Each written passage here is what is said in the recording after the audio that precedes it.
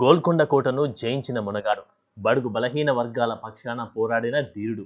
ఆత్మవిశ్వాసమే ఆలంబనగా ఆధిపత్య పోరును ఎదిరించిన శురుడు. మొఘలు రాజుల పాలనపై తిరుగుబాటు బాహుటగా ఎగురువేసిన సాహసికుడైన గౌడ జాతి ఆనుమిత్యం. సర్దార్ సర్వై పాపన గౌడ్ మూడు వందల అరవై తొమ్మిదవ జయంతి వేడుకలు రాజన్న సిరిసిల్ల జిల్లా కోనరావుపేట మండలంలోని మల్కపేట నిజామాబాద్ గ్రామాలలో ఘనంగా నిర్వహించారు. అనంతరం వారు మాట్లాడుతూ బడుగు బలహీన వర్గాల కొరకు పోరాడిన సర్దార్ సర్వై పాపనగౌడ్ గారికి గౌరవంగా జయంతి వర్ధంతి వేడుకలు జరుపుకోవాలని ఆయన చరిత్రను పాఠ్య పుస్తకాల్లో రచించాలని ప్రభుత్వాన్ని కోరారు. ఈ కార్యక్రమంలో యూత్ కాంగ్రెస్ అధ్యక్షుడు బుర్ర రవి సంఘం అధ్యక్షులు ఎదురుగట్ల శంకరయ్య బీసీ జిల్లా జనరల్ సెక్రటరీ కార్తిక్ టిఆర్ఎస్ నాయకులు ఆర్ఏ మహేందర్ గౌడ సంఘ సభ్యులు యువకులు ప్రజలు పాల్గొన్నారు.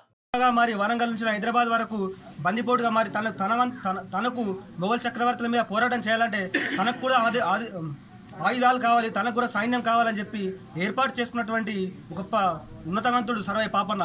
అతన్ని స్ఫూర్తి తీసుకొని గౌడ గౌడ కులస్తులు కానీ మిగతా వారు కూడా ఆదర్శంగా నిలవాలని చెప్పి కూడా ఈ సందర్భంగా మేము కోరడం జరుగుతోంది. చివరగా ఒక మాట గౌడ చివరగా ఒక మాట గౌడ కులస్తులకు కానీ సర్వై పాపన ఆదర్శంగా ఉన్నటువంటి ఒక మాట. నా గౌడ కులస్తులు తాటి చెట్టు తాటి తాటి చెట్టు ఎక్కడానికి నా చేతులు ఉపయోగించద్దు కానీ గోల్కొండ కోట మీద కిల్ల ఎగరవే ఎగరవేసే విధంగా నా వాళ్ళ చేతులు ఉండాలని చెప్పినటువంటి గొప్ప వీర స్ఫూర్తి సర్వై పాపన్న. అలాంటి స్ఫూర్తిని గౌడ కులస్తులు ప్రతి ఒక్కరు తీసుకొని ముందుకు సాగాలని చెప్పి కూడా ఈ సందర్భంగా జిల్లాలో ఉన్నటువంటి యువకులకు కానీ మేధావులకు కానీ మేము సూచనలు చేస్తూ జై సర్వై పాపన్న.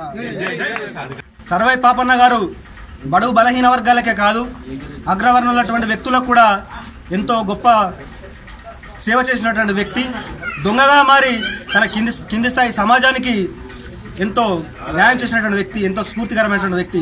అలాంటి వ్యక్తి ఒక బలహీన వర్గాలకు ఒక బీసీ బిడ్డ కాబట్టి అతని చరిత్రను కనుమరుపోయే విధంగా చేసినటువంటి ఈ గవర్నమెంట్లు ఏ గవర్నమెంట్ అయినా సరే ఈ వరకు అన్ని గవర్నమెంట్లు మారినప్పటికీ పార్టీలతో సంబంధం లేకుండా తనను రాష్ట్రంలో ఒక ప్రత్యేకమైనటువంటి గుర్తింపు తీసుకొచ్చి అధికారికంగా ఈ యొక్క పండగను విజయవంతంగా చేయాలని చెప్పి రానున్నటువంటి రోజుల్లో మేము సూచనలు చేస్తా ఉన్న ప్రభుత్వానికి.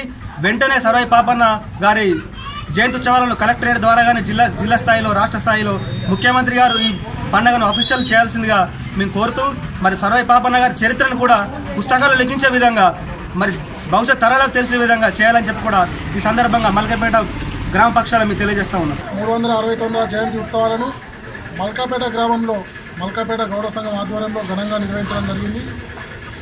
సర్దార్ సర్వైన్ పాపన్న కేవలం గౌడ కులానికి చెందిన వ్యక్తే కాదు బడుగు బలహీన వర్గాల కోసం పదహారు వందల యాభైవ సంవత్సరంలోనే చాలా పోరాటాలు చేశాడు.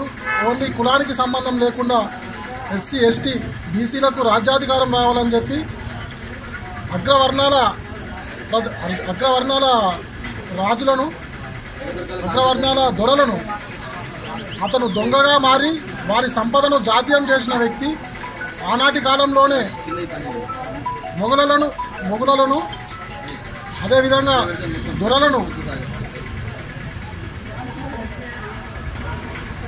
అడుగు బలైన వర్గాలకు పంచిన వ్యక్తి. వారి ఆశయాలను మనం ఇప్పటి కాలంలో కొనసాగించాలని వారిని స్ఫూర్తిగా తీసుకొని మనం అందరం ఆయన బాటలో నడవాలని సర్దార్ సర్వాయి పాపన్న గౌడ్ గారి మూడు వందల అరవై తొమ్మిదవ జయంతిని పెద్ద సంఖ్యలో గ్రామస్తులందరం కలుపుకొని పెద్ద ఎత్తున జరుపుకోవడం జరిగింది.